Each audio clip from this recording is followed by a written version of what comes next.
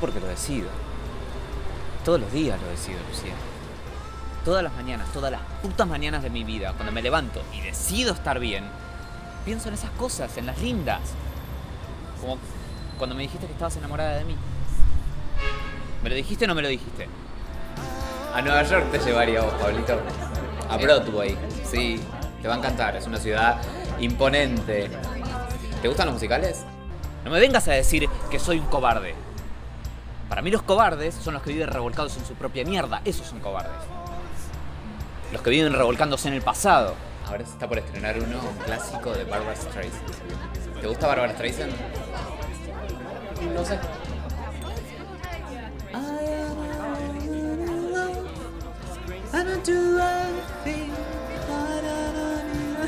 ¿No te suena? te va a sonar. ¿Cómo? Perdón. Nada, nada, nada, no hagas caso. Ah, Es el vino. claro.